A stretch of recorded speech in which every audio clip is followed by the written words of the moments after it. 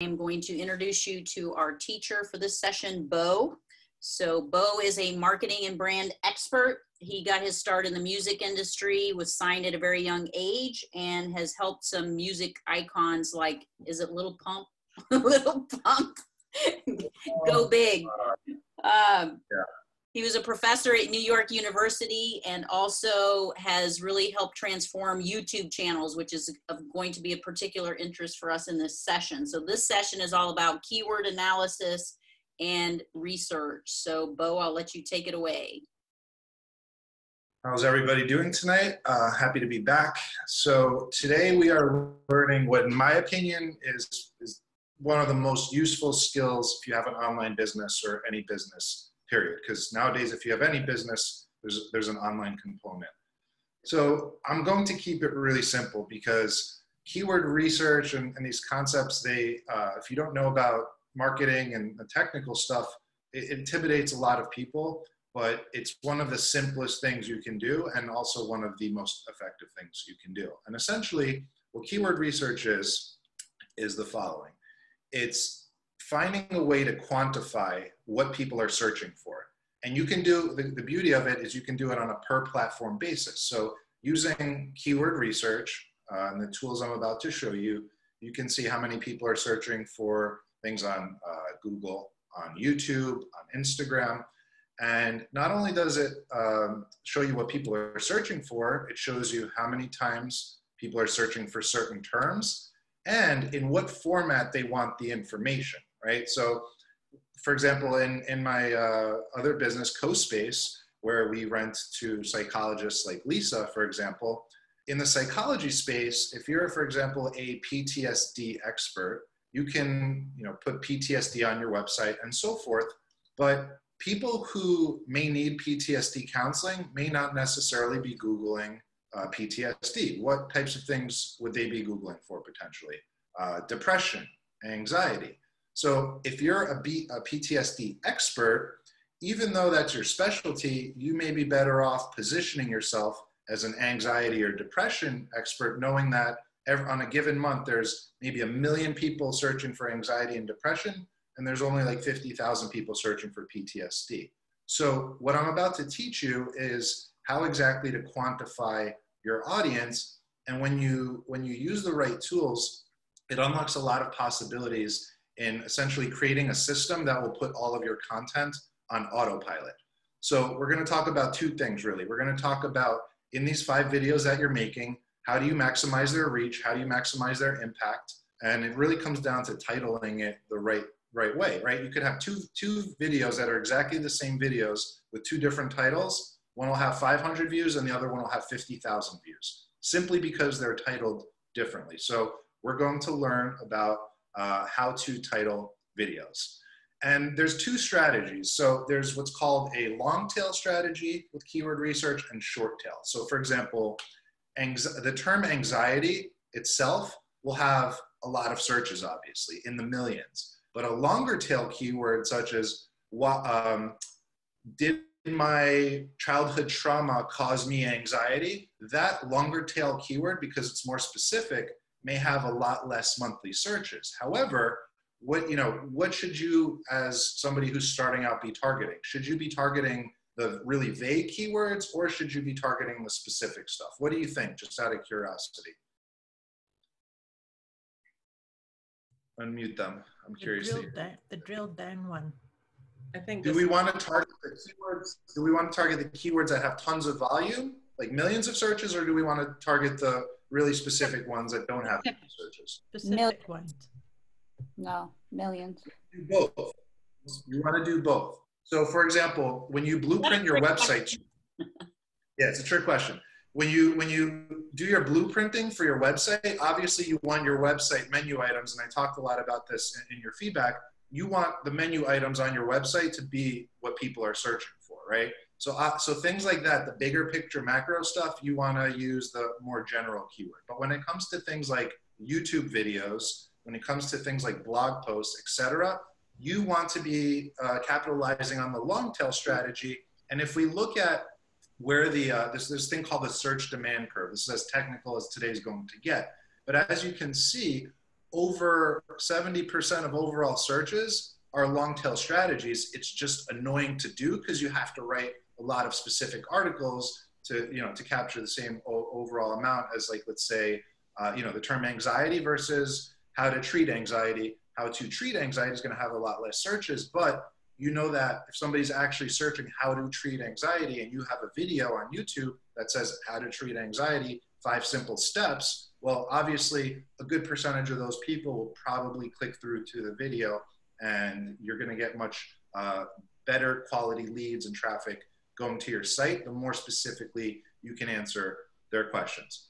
So I'm going to switch gears now into the tool that I use uh, for all of this. There's a tool, it's a paid tool. I can uh, help you guys out a little bit with this, but it's something I, it's, it's worth every penny. I use this for all of my businesses. And this is the simple step that if you take will already set you apart from 90% of content creators. Just because people hear keyword research, they, uh, you know, their, their head explodes and they think it's this complicated thing. So what I've done is I uh, sort of pre-searched a few different keywords based on what you guys have sent me. And I'm a, you know, I think the best way to learn is by doing. So with these types of things, I could give you a 50 page presentation and after you're probably still going to be like, all right, how the hell does this actually work? How do I do it? Or I can just show you some examples of how I would go about doing keywords for different niches. And through this, what's interesting, you're going to see that a lot of the times the assumptions you make about what people are actually searching for are, are, are, are you know, not necessarily the case. So the first thing I'm going to do is give you a little tour of this platform that I use to do keyword research on and just show you uh, everything that it's capable of.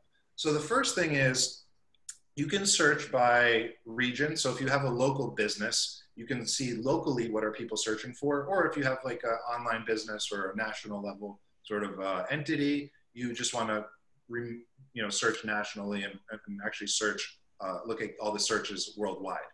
You can select platforms. So the things that people search on Google and YouTube um, and eBay and Instagram, they're all slightly different, right? So for example, if you guys are now creating these videos and your main objective is, you know, I'm going to embed these videos on my website, but their primary home is going to be, you know, Well World TV and I want them on YouTube. So if you know that YouTube with this big built-in audience uh, is where your videos will reside, you want it, you want to search uh, YouTube and see what people are looking for on YouTube. Now let's let's just start with an example. So I typed in psychologist, right? So when I type in psychologist, what, what this is doing now, it's looking at, and it takes a couple seconds, but it's, it's looking at all the data worldwide, all the searches of people who are searching for a psychologist. And what we can do here is we can see all the monthly searches. But after a while, if, if we're only looking for terms with psychologist in it, this becomes a bit redundant after a while. So where the, the true power, where you try, start to see the true power of this is you can now with this tool, if you're, if you're a psychologist and you want to see what are all the other words that people are searching for that's, you know, not psychology, but in that niche and how much volume is there, let's see. And can you guys see this? I have a really big monitor, so I see you all kind of squinting. Can I, yeah. should I zoom in a little bit? No, I see depression, anxiety, psychiatrist, counseling, therapist. Yeah. So, if, we, if I'm a psychologist, so if I'm Lisa, and I know we have, uh, I forget who's the uh, physical, so we have another psychologist slash physical therapist here. So for example, if you guys are creating your website, you're trying to figure out what content to put out on YouTube and even on your website, you know, first you'll search psychologist. And okay, there's a one and a half million people searching psychologist, but that's not really specific enough, right? So if we look at the related keywords, there's 1.8 million people a month searching for depression one and a half million people a month searching for anxiety, right? So if I'm a psychologist, I'm not even going to really position my website and my content as I'm a psychologist. It's going to be like, I can help you cure and help you with your depression. I can help you with your anxiety. These little subtleties, right? When you when you start looking at keywords, you go from casting a net this large for potential leads to you know this large, just with subtle tweaks. And not only that, we can also look at the trends, right? This is where a lot of the power of this tool uh, becomes obvious. You can see what's trending when it comes to psychology searches. So this is a good way to get ahead of the curve. And what you need to do is you need to ignore the, the searches with lower volume. So right here, this is trending up 600%. but there's only 30, you know, 30 searches a month. So anything with under like 100, 200 searches a month, I tend to ignore. But as you can see, online psychotherapy has surged 240% in the last month. So if I'm a psychologist and I don't have, and look at this, online therapy surged 173,000% with 74,000 searches. Uh, online psychologist, 174%. So now if I'm Lisa, for example, and I, and I uh, already have some credibility as a therapist, I want to create a new page on my website and, you know, create a, an online therapy section because now just by doing that 74,000 people a month who are searching Google for online therapy guess what? Now my site and titles are indexing. So that's very important. Question who has a FAQ on their website? Anybody who has FAQ okay so we have we have uh, Lillian with the HPV website so I actually have this loaded up so one of the really cool things about this so I searched HPV and I looked at what are, you know, let's look at the total volume for HPV searches. So there's 100, 1.5 million people searching HPV in general. There's quarter million a month searching for vaccine. So you should have a, you know, this is where a lot of your volume is going to be. So on your website, in your headline, you know, I was talking about your headlines. Um, mission of, of uh, I don't know if there is a vaccine or not. I'm, I'm, a little uneducated on the subject, but if there is, spreading a, uh, spreading the knowledge of HPV vaccine around the world. Our mission, right? So like your mission statement is now what quarter million people in the world are searching every month. You're going to get a lot of organic searches. But back to my point, if you have an FAQ, this is a really cool feature as well. You can you can set this tool to analyze what questions are people asking about HPV. So this feature right here, when it comes to YouTube videos and your FAQs is a gold mine because if you're ever asking yourself, all right, like I'm a, I'm a, I have this HPV website, what kind of videos should I create for YouTube? Well, guess what? We just search what questions people are asking for, and these are literally going to be parts of your YouTube video titles. Uh, titles. So is HPV an STD? Question mark, right? Um, you said that it can spread skin to skin, skin to skin, so it's not. So this right here is a video, and because there's only 12,000 searches a month, it's not as competitive as a more broad term. So if you have good content and you're targeting these longer tail keywords in a really sniper focused way, you're almost guaranteed to get a percentage of these views. And it becomes a snowball effect because on YouTube, when you create, you know, how do you unlock, how do you get that exponential growth on a YouTube channel? create a lot of videos that have what people are searching for. That's what we built Gravity Transformation. If you weren't here last class, typing Gravity Transformation on YouTube. We built them up to 2.4 million uh, subscribers. How do we do that? Slow and steady, but every title of a video on that channel is done via keyword research. And then what happens if you have a channel full of that stuff? They watch one video, boom, suggested videos, then the next one comes up. And you just need to get people to your first video and then there's this trickle down effect where if you have content and videos based on keyword research based on what people are searching for it becomes this exponential effect and it eventually snowballs um, into the algorithm and that's when you just get that that pop so one other thing just to uh, help you out a little bit with your keyword research around hpv if we look at trends this is very interesting so what is trending uh, in terms of searches I noticed there's a lot of people searching for HPV on your hand, right? It's trending 300% in the last month. I don't know if that's related to COVID. Maybe sometimes like something will be in the news and then a lot of people start searching for it. But right now, I don't see, you know, there's probably not a lot of content about HPV warts on hands. So the fact that you have this right here with um, 10,000 searches, 10, so right here alone, hand warts, 20,000 searches a month. If you create a, a, video or a blog post about that, you can see how strategically picking your spots um, will help you. Any questions? I'm going to stop for, for a, a couple minutes and let's uh, open it up to questions. Deborah, you can moderate the mics and stuff. Did you did you tell us the name of this particular? It's, it's yeah, I actually put it into the notes there. So it's uh, keywordtool.io. Um, Bo, can I ask you something where um, you, when you look, can you hear me? Yeah, Yeah, you're cutting, you're cutting out a little bit, I think. When you went to the trend, uh, you, uh, for the, for the warts on the hand, or the HPV on the hands, what about the one, the trend where it says it's six hundred and fifty percent on the right for bumps on the back of the tongue? Wouldn't we, you would do both. These are all opportunities. The reason I kind of keyed in on that is because even though the percentage growth is, is higher with the back of the tongue, the overall volume here is, is, you know, much more significant. So it's 20,000 versus 400. So what I usually like, it's, it's a balancing act because, you know, there are certain keywords, like if you start ranking for HPV, that's a gold mine because you're going to have a million and a half searches all seeing your stuff. But keywords that have a lot of volume are also much more competitive because you've had websites that have been online for 10 years ranking for HPV, giving people good value content.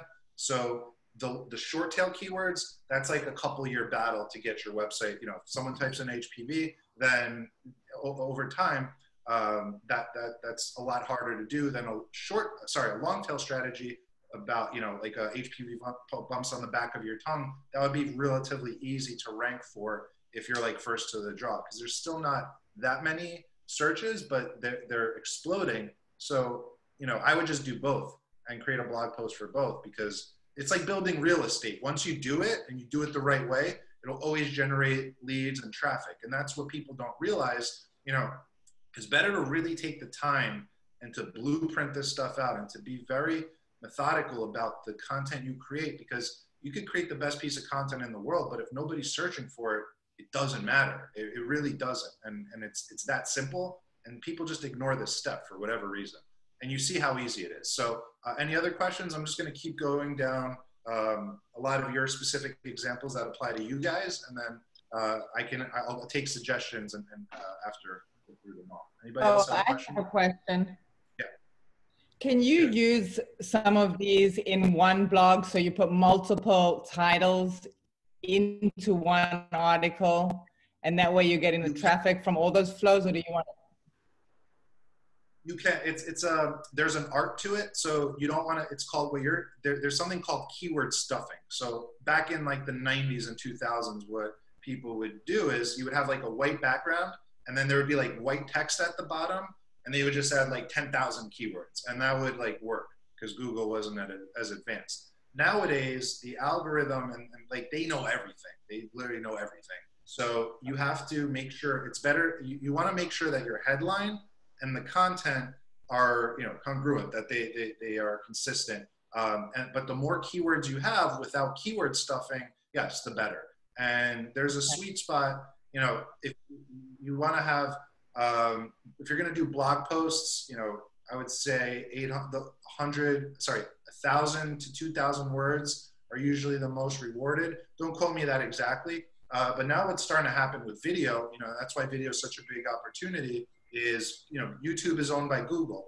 So now every time you make a video and embed it into your website uh, youtube automatically transcribes what you're saying and it indexes those keywords. And if you embed it in your website the google algorithm correlates everything. So the more videos you make you're actually also um, you know you're also ranking for these keywords on your web searches. So that's that's going to be you know all the stuff we're talking about with keyword research for like website copy and stuff that it's the same thing for video because they're transcribing your words into text. And that's you know when, that's how when people search videos on google some of the search results are based off of that data. And it'll continue to you know in the next 10 years that's where all that's headed. So keyword Can I ask research is, one more is so Yeah. I I would just add on really quickly too, that, you know, when you're thinking, when you start to do the keyword analysis and you're looking at the titles, obviously choosing a topic like HPV and hand warts, that's not going to be a 22 minute episodic episode. That's going to be a one to four minute video that's slated specifically for a platform like YouTube because you can't fill 22 minutes of interviews and having conversations about warts on your hand, but it's a hot topic right now. So literally, you could film a short, you know, interview or some sort of, um, you know, you talking to camera about, you know, sh- showing some visuals on, you know, what what is HPV on the hand, what's not HPV on the hand, and nail it like in three minutes.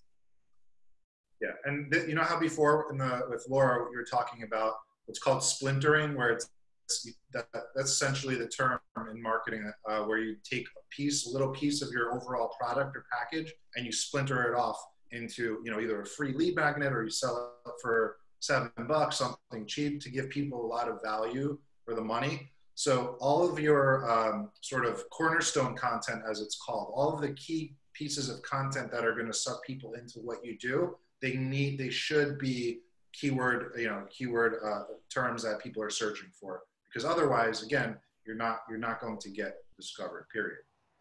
Um, anything else? Use- Any other- If you're using a keyword like love, which is viewed and researched a billion times, are you going to get lost in that? You're better off using something like love affirmations or adding something to that. So uh, if we if we take a look now, so it's like you go down this rabbit hole. So for example, you start out, you type in love, right, and then we're going to see all of the volume come up for uh, searches for love. And the more generic the term, the usually the longer it takes. So it'll probably take a couple seconds. So we're going to type in love, and now let's see, uh, love Victor. I don't know what that is, but that's sometimes like if a movie comes out or whatever, you'll see a spike like this. Uh, love is blind cast. So you know that's the other thing. There's things called negative keywords, which are you know they suck because you could be in a niche where, for example, somebody's uh, headlines were about being stuck, and then when you uh, start doing keyword research around the word, word stuck, a lot of it is like how to get a screw unstuck from, that I drilled into the wall. So there's a lot of time there's these things called negative keywords that you're basically competing against a term that's not in your space, but because you know the, the, the ecosystem of Google is for everyone, uh, you don't want to put yourself at a disadvantage where you're now competing against a completely unrelated industry with tons of money, right? That's one of the things that stinks about uh, running co-space ads on on uh, Google. When I when I because our spaces are only for therapists and wellness providers. So if I market co-working spaces, I'm now marketing to this you know whole other audience that I don't want to waste money uh, you know advertising to. But unfortunately, all the therapists who are looking for spaces like this, they're searching for co-working spaces. So it's nice to find a, a niche and a, and a, way to phrase your message and what you do where it's not competing against uh, more established industry. So back to my example here, if we look at love, um, there's six million searches about love, a lot of love quotes. So I would say you're better off because it's such a vague term. Let's look at the questions people ask about love. And it's really interesting, like doing just going down this rabbit hole, even Do if you don't end up talk? using I go, I just googled "Do Lovebirds Talk" the other day. Yeah. So what is love? 673,000 people. What lovers do when love takes over. Okay, that's the lyrics for a song. Is love blind? Is love a verb? Uh, when love and hate. So all of these things, you know, that's that's just with love in the keyword.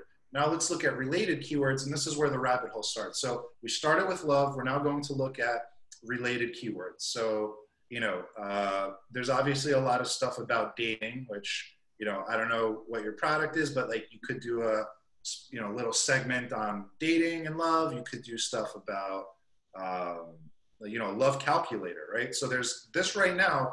We have 370,000 people searching for love calculator. We never would have known that. So guess what I'm going to tell you to do? Create a love calculator on your website, and now you know that's a cool thing that you could have conditional, uh, you know, things on your form, and then based on what they type in, you you you redirect them to a product or a blog post or whatever. Like quizzes and forums and anything that's interactive is, is good because it's something different. And a lot of the time you know what's valuable is you want to capture people's information as soon as possible. So a lot of times uh, it's annoying but it works. It's like an, uh, a, a, marketer thing but you'll you've probably been on websites where you do a quiz and you know they'll ask they'll make you to they'll ask you to answer like five to ten questions you answer the questions, and then to hit submit to see your results, it says enter your email here. And it's the most annoying thing in the world, but people do it because it works, because the users have already taken the time and the emotional investment, right, to fill out the five questions. So, you know, they're just like, screw it, I'll just give them my email, whatever. Um, so this stuff actually works in, in, in generating leads. I, I'm going to get back to the keyword research in a second, but I want to share another resource that ties into this that will help you create unlimited content, unlimited video. You're never going to have like writer's block. From this point forward, you should never have to wonder like what video should I create because you're going to be able to see, okay, there's 50,000 people searching a month about this. Let me go make a video on that. And then to spice it up to make it interesting, um, I'm not going to take credit for this resource. Digital Marketer is one of the most established. It's where I learned a lot of my stuff like 10 years ago. And they have this master list. It's like blog post ideas. And you can turn this, you can just consider this YouTube uh, uh, ideas. And what they do is they give you every different type of, uh, you know, post that you can. So let's say we have a topic like HPV, right? Um, we can do a rant post about HPV. We can do a, um, a crowdsourced post where you take a lot of different people sharing their experiences, boom, you put it in one. So this, I'm going to share the link, but this is essentially, you know, what I use to brainstorm what type of content you're going to create. And what's good about using these uh, sort of roadmaps is you want to create, you want to get in a place ultimately where you're like a month or two ahead of your content schedule. Nothing's worse than always feeling, you know, behind. So with with these techniques combining keyword research with this uh, blog post idea list, you have essentially like an automated, unlimited way of creating ideas. So for example, to tie it all together, you know, we can go look at the questions people are asking about uh, psychologists. So let's see what the volume is around here. Let's, let's see. So is a psychologist a doctor, right? So 10,000 people a month searching for that on Google. Uh, so what we may do is we may create an answer post that answers that question. We can create, uh, you know, I'm sure we can find a, a, bunch of these ideas that we can fit into the, uh, the keywords that are showing up. So I'll send that link after we're done. Uh, let's move on to some of your other niches. So we have Ayurveda. I was actually shocked by how many searches there are around this. Uh, I underestimated it a little bit. So let's take a look. So as far as, did I spell it right? Yep. Ayurveda. Yes, you did. Okay, so we're searching Ayurveda searches. Uh, this is for YouTube. So let's let's move over to Google because there's obviously a lot more. I usually like to start with Google because that best represents just the overall picture. So there's about half a million people a month searching that. There's 75,000 people a month. So the second most searched for a term with Ayurveda in it is Ayurvedic medicine. And that, and then there's massage, diet, treatment. So, you know, if you have a site that is centered around Ayurveda, your, your menu is probably going to be like medicine, massage, diet, treatments. Like it's that simple because that's what people are searching for. Now, if we look at what are some of the related things you think people are searching for around this topic, it's really interesting, even just to you know mess around with this and see. So I have no idea um, what Pitta is. I don't know what Vata is. Yeah, I'm sorry. one of the doshas. yeah, but look, that's you now. You have the quantified. Uh, you know, so if I don't know about the space, so at first I'm like, and this is why this is important. At first I would think, eh, there's probably not that much search uh, searches around that shouldn't bother. But because I don't know that space, my assumption is wrong. And now we see where that is. If you have um, a FAQ on your website, look at the questions that people. And the funniest thing about keyword research is you see the you actually see what people are searching for. And sometimes people search for some really funny or messed up stuff, and like you actually see the searches. So it's interesting. You, you, see, you get to see what people all around the world are searching for, so you can imagine uh, things that come up. But here you go. So if you're going to do a, an FAQ on your website around this, boom, here's your FAQ, literally written for you. And these are the top searches. And again, you can always sort by trends. Uh, let's search shamanic. So we have some related keywords for that. So meditation is a big one. You know, for example, in um, on YouTube, guided meditations are huge. I think I, I talked to Laura about this when we were looking into what type of meditation content she should create. And like guided meditations, if you if your business has anything with guided meditations, I highly suggest making a guided meditation series on YouTube as, as its own series because there is so much search volume uh, around that. So, you know, if we search shamanic or shaman, then Reiki is one of the first things that come up as well. So, as you're starting to build your products, right, within your umbrella of businesses, this this is a good way to also think about, you know, what products you want to create under your umbrella. Um, any questions? Any requests? Let's open it up to requests because it's, it's this is the most fun when it's applying to your um, you know your business. So, are there any searches you guys are curious about that you'd, you'd like insight on? Yes. Can you hear me? Yes. Uh, so, Bo, thank you again for your feedback. Um, actually, where I'm getting most of my business now are people who are looking for astrology readings and tarot readings. Okay, so let's we're gonna search astrology reading, and then we're going to search tarot reading. Maybe uh, something else has higher volume, so we'll see. So people who are searching, let's just start with terms that have the words astrology reading in them. Okay.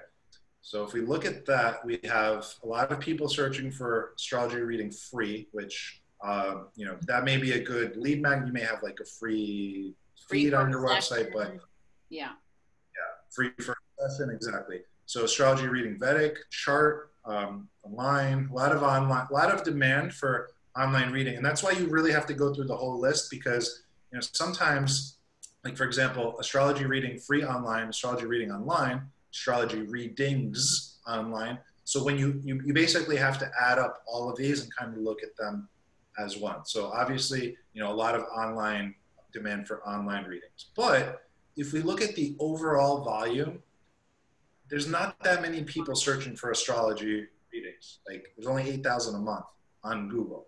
So let's, this is a good opportunity to see, okay, well, how can we cast a wider net to get people into your astrology readings? And now it starts becoming a little more apparent. So if we look by overall volume, uh, you know, horoscope, which is going to be very hard to compete against. This is where it's, you know, you, you start balancing do I go for the, the broad terms and how competitive is it? There's a million horoscope sites, so it's going to take you a lot of resources to rank against that. So let's keep going. Um, you know, there is a lot of horoscope stuff, so I would, I, I'm not saying don't do it, but you, you know, you're going to, that's a more longer term strategy. Um, definitely specific signs. So it's interesting to see which signs search for their horoscopes the most. So like a Scorpio tends to search for, or sorry, uh, yes, Scorpios search for their signs the most compared. So they they search uh, Or their 1.2 partner. million. Right, Probably And on then- or their Scorpio, I'd say it's probably their partner because they can't figure them out. yeah, probably right. this stuff is so interesting to me because you start like you just go down this rabbit hole and you learn all this cool shit that you normally wouldn't do and it's really and it helps with your business. So it, it's really helpful and it's fun and um, again it writes a lot of your headlines and content for you especially the questions. So let's see what kind of questions people are asking around horoscopes. And i'm going to actually go back. Let's see what's trending around horoscope because it's, it's been interesting to me to see what is trending as a result of covid and everybody staying inside. So there's been a huge surge in gemini. You know maybe geminis are the sign that go crazy when they're uh, uh, contained in their houses and apartments for a few months and that's why people are searching. I don't know. Big interest in egyptian astrology really big. So that that's a good one. For example i don't know if you incorporate that or even if you don't like creating a blog post like egyptian astrology versus what you do for example. Even you can always spin these keywords and make them applicable uh, to you may you know obviously may uh, each month that will be trending chinese astrology chart so these are all the things that are what, what's an astrology house astrology houses what is that 12 houses. So each house has a specific meaning. interesting It tells you about an area. Yeah. yeah that's that's trending a lot and that has significant volume so um, that let's look at the prepositions people are reading around just search astrology in general. Because that's the other thing you know we search astrology readings. Now we're searching more vague just astrology and let's see what comes as a result of this. So as i'm searching for this uh, who's not who's up next? What do you want to dig into a little bit? Bo, I want to go next because mine is a little bit different after our conversation. Okay, so let's watch the prepositions. I just have a quick question while that's coming up. And um, I have Vimeo videos embedded in my website. Should I switch that to YouTube? Yeah, so Vimeo is good for like if you have like a corporate video and you don't want the branding and you just want it, you know, to be clean.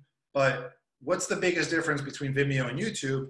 You don't have a built-in audience. So there's there's a lot of opportunity costs of not having things on YouTube just because like the world uses YouTube. That's their number one source for video. So why would you not potentially uh, get all these eyeballs on your content? You know they're there. You know they're searching for it. So that's really you know th- there's a there's a huge opportunity cost of not being on YouTube, right? Well, I've got them in YouTube and Vimeo, but as far as loading them specifically onto the website, they're loaded from Vimeo. That- that's fine. That's fine. As long as, like, for example, so in your comments on your YouTube videos, you should be linking to your website. So if you do that, it correlates. You know, it correlates the fact that your YouTube channel is pointing to this website. Boom. Uh, and, and I don't know if you have Google Analytics installed. That also, you know, helps clarify that.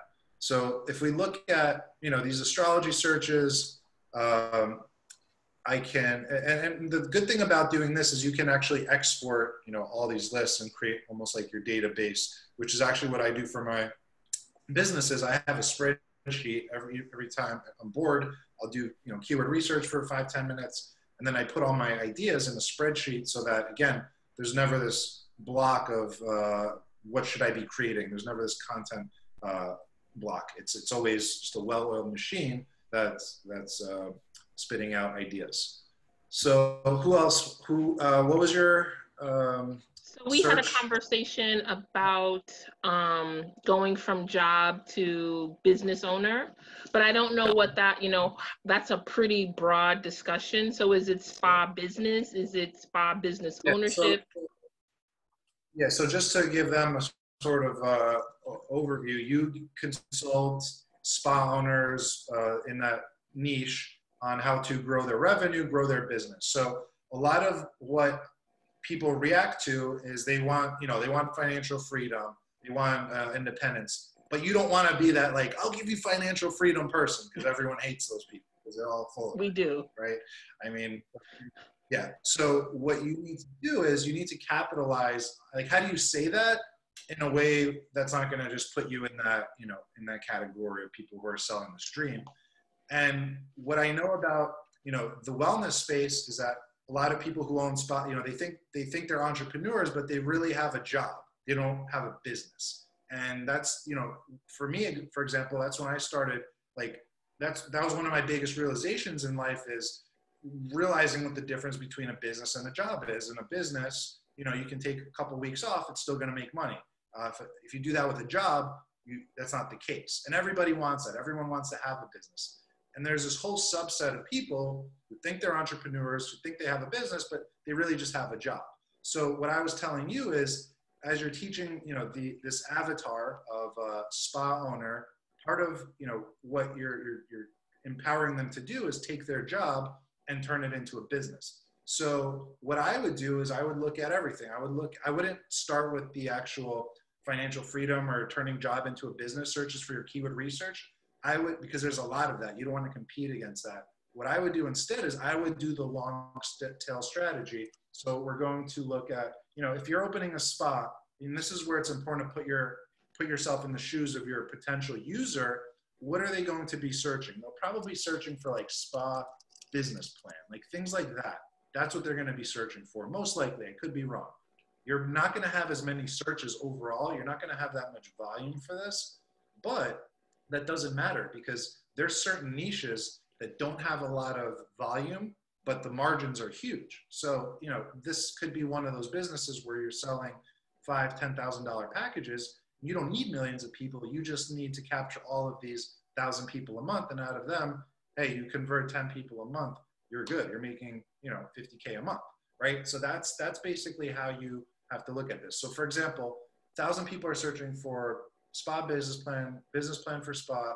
There's about 4,000 people, you know, there's probably more. There's probably like six, seven thousand people looking for business plan templates, or right. So what you could do is you can offer as your lead magnet a free sort of diagnostic thing that lets them put in their revenue goals. You know, create a form and just create some sort of interactive way for them to spit out a business plan. And it's like, hey, if you want more, schedule a free consultation. Click here. So that's you know that's just the spa business plan keywords. Now let's look at the related keywords and see what uh, people are actually searching for. So, you know, business plans, that's too vague. Uh, yeah, we're probably this, and this is where, you know, going back to what I said, you have to be careful if you're, if you're in a niche that's competing against other industries, it's better to go the long tail strategy and, you know, let's see, operating spa. And Cherie, I would say just from a business strategy perspective, you, you know, I would I would say, okay, I work with spas on their business plan, but is that also applicable to other business models? So would would you be able to effectively work with chiropractors? Would you be able to effect, effectively work with acupuncturists? You know, so can you take that same business track and apply it to other niches because I think you can do some research within here and see how much searches are happening in these other categories that are relevant to what you offer and possibly have different tracks.